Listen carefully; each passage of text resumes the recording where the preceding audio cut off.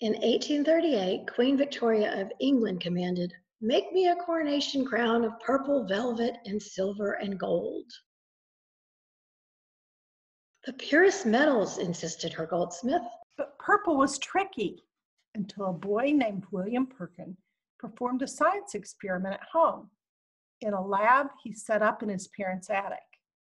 He invented purple for the people and a new way to perform chemistry using the scientific method.